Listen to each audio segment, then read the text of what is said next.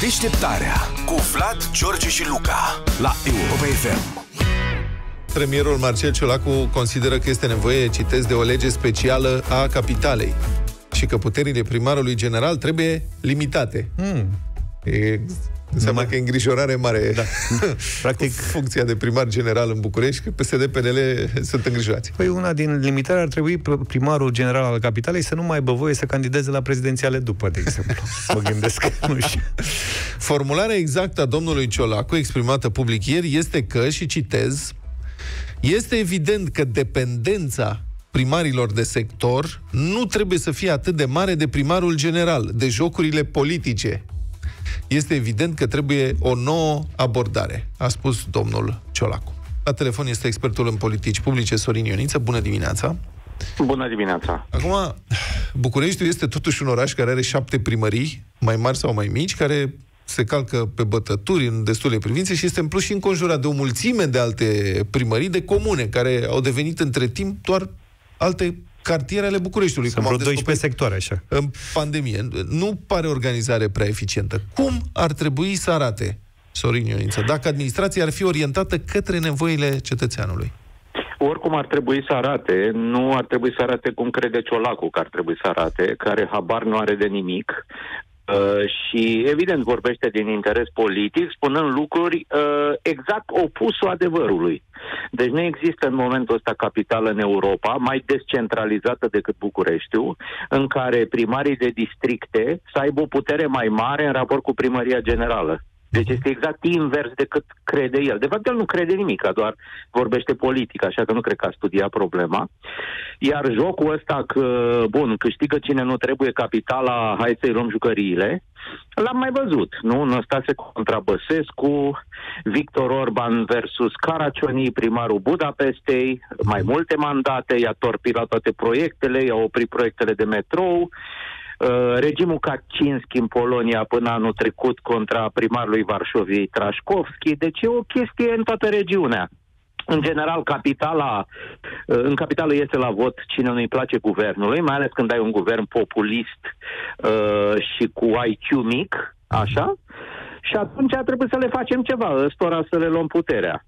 Uh, ăsta este situația de fapt. Acum, cum ar trebui să arate? Da, ar fi necesară o lege ca a capitalei. De fapt, a zonei metropolitane București ar fi necesară. Ce înseamnă? Deci o zonă metropolitană lucru, care s-ar duce până imediat. unde? Da. Ce nu știe din nou Ciolacu și cred că nu mai știe nimeni. Eu, eu, eu în momentul ăsta am ajuns să cred că ei chiar nu mai sunt în stare să înțeleagă lucruri nici dacă ar vrea.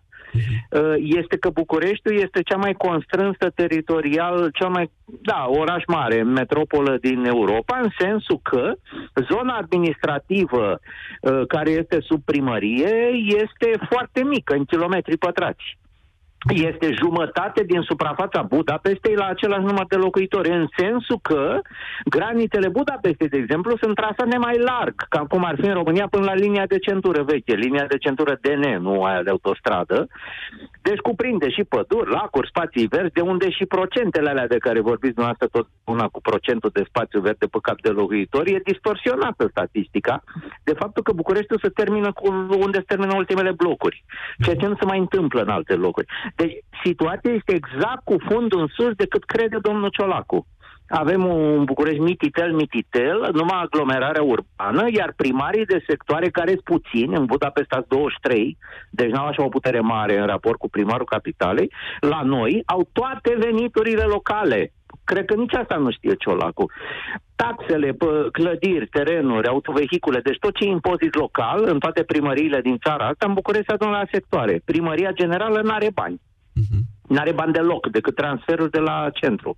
Ce are încă e puterea de a mai reglementa, deci de a-i ține în frâu din reglementări că au nevoie de avize. Deci are o putere reglementatoare primăria București. Dar asta prin dar Consiliu, bugete, dar asta prin Consiliu bugete, General, nu? Care este totuși ă, asta reglementare se face prin Consiliu General, care este totuși Prin Consiliu dar... General, nu, sigur, sigur, sigur. Ca orice primărie are Consiliu primar cu atribuțiile împărțite, cum este, dar vreau să spun acest nivel Consiliu General plus plus primar, are, au putere reglementatoare în primul rând. Ei n-au bugete atât de mari.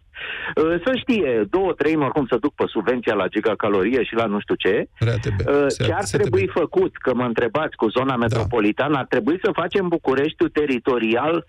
Deci nu să întărim primarii de sectoare, ci să-i slăbim, eventual să facem mai multe sectoare, să nu mai aibă toate contracte, să nu mai aibă toți banii Bucureștiului din impozite locale, să nu mai aibă aceste atribuții care spar, de exemplu, marile contracte pe gunoi, pe salubritate, știți, alea pe 20 de ani. Da. Păi ai, nu poți să faci o gestiune a deșeurilor și a reciclării sector cu sector. Adică Da. poți, dar e mai greu și nu te poți coordona și nu sper să ai vreodată aliniere politică perfectă, că de aici pleacă lucrurile, nu? Că dacă faci cum vrea Ciolacu să întărești primarii de sector, păi asta o să funcționeze doar dacă ei reușesc să creeze un Fides, adică un partid care să câștige tot și să nu mai mărâie nimeni. Cât e pluralist politic, oricum nu va merge chestia asta. Uh, și ce ar mai trebui făcut e acea zonă metropolitană, deci pe o aglomerare mai mare, care să preia și de la primăria generală, dar în special de la sectoare și de la primăriile din jur, transport, funcțiuni pe transport, pe mediu, adică grob de gunoi, deșeuri, chestiile europene, proiectele mari, adică domeniile europene de interes și, aici vine durerea mare, politica de dezvoltare, adică pu- puterea primarilor de a mai da autorizații de construcții, avize și chestii pe lucruri importante. De exemplu, uh, Chiajna, uh, pardon, uh, uh, da, Chitila. Chiajna, Chitila. out. Chiajna. Pantelimon Dobroiești, out. Voluntari, out. Popejle Ordeni, out. Tot ce este în interiorul șoselei de centură. Nu au rost aceste localități care sunt cartierele Bucureștiului, unde niște primari, fiindcă au norocul că au moluri acolo, adică joburi, adică impozite pe salarii care vin direct la ei, uh, dau autorizație, au bani cu nemiluita, construiesc ghetourile alea urbane care sunt de fapt cartierele Bucureștiului. Ați văzut ce se întâmplă în, uh, în Chitila Roșu, da? Da. Uh, și îți creează probleme în interiorul orașului cu care tu nu, nu, nu ai niciun instrument uh, pe, cu care să le gestionezi. Mhm. Deci acea zonă metropolitană ar trebui să preia aceste chestii. De ce nu se Uh, poate face? Nu noi am... Adică nu Păi inventăm roata. uitați-vă la alinierea Administrația... politică. Vreți să, să spun din nou Chitila, voluntari, Popejle Ordeni, ce vă sună asta politic? Da. Evident că nu se poate face. Dar uh, are, uh, Ciolacu nici nu are curaj să deschidă discuția asta. Deci nu are curaj în caz că ar înțelege despre ce vorbim noi aici. Ceea ce încep să am dubii. Mulțumesc foarte mult, uh, Sorin Ioniță. A fost la telefon expertul în politici publice și dezvoltare locală, Sorin Ioniță. Deșteptarea cu Vlad, George și Luca la Europa FM.